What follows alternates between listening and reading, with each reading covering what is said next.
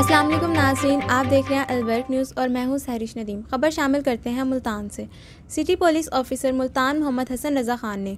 SSP investigation Multan रब नवाज़ के हमरा। पुलिस लाइंस मुल्तान में मुहर्रमुल हराम के हवाले से मीटिंग की। मुहर्रमुल हराम में सिक्योरिटी और अमन अमान के क़्याम के हवाले से मजालिस और जुलूस के लाइसेंस दारान और मजहबी रहनुमाओं के साथ मीटिंग की गई। मीटिंग में शफकत हुसैन भुट्टा, मुजीन अब्बास जावन, हसनैन बुखारी की शिरकत। आरिफ अख्तर काजमी उल्फत हुसैन दीगर लाइसेंस दारान और मजहबी रहनुमा मीटिंग में शरीक हुए। इंचार्ज सिक्योरिटी शबाना सैफ भी मीटिंग में शरीक हुई।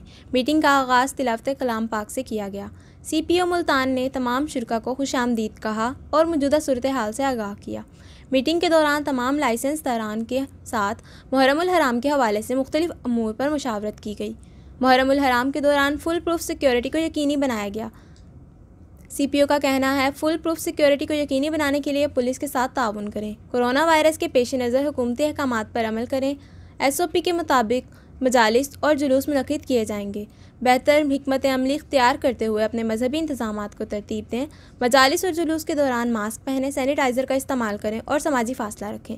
सी पी ओ ने मजहबी रहनुमाओं के शुरा के मसाइल सुने और इनके हल के लिए यकीन दहानी कराई।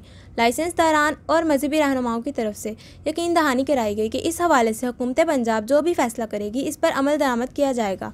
मजालस और जुलूसों के मुकर रूट्स और अवकात में आगाज़ अख्ताम करेंगे। आखिर में मुल्क की सलामती और अमन अमान के लिए दुआ की गई।